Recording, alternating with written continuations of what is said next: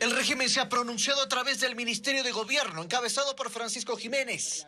En un comunicado rechaza la que considera ilegal destitución de Guadalupe Llori y señala que no se prestará al juego de quienes piensan en sus intereses políticos y personales.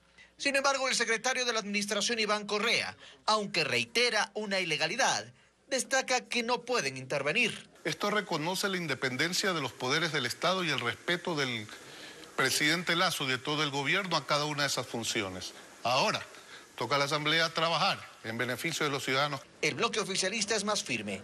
No reconoce a Virgilio Saquicela como presidente titular en reemplazo de Llori. Únicamente presidente encargado de esta sesión. Nosotros sí sabemos leer y tenemos plena conciencia de lo que decían las medidas cautelares.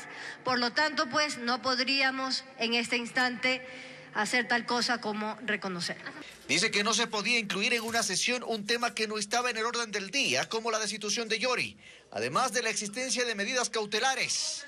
Y aunque Izquierda Democrática reconoce también aquello, ahí prefieren la cautela. No dicen ni sí ni no. Que cualquier cambio que vaya a haber vaya en función justamente de que se solucionen los problemas que tiene el país, pero además de eso que le dé estabilidad. En Pachacuti siguen molestos, pero ahora ellos acusan al Ejecutivo.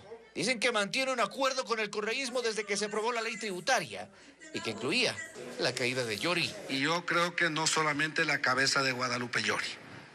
Yo creo que están canjeando otras instancias más. Habrá que ver más adelante qué pasa con la Contraloría.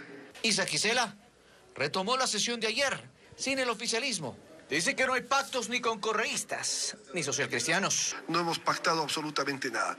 Acá el único compromiso es un diálogo interno que tendrá que ser en las próximas horas. En su primer día como presidente, si no hay novedades, completaría el periodo en mayo de 2023.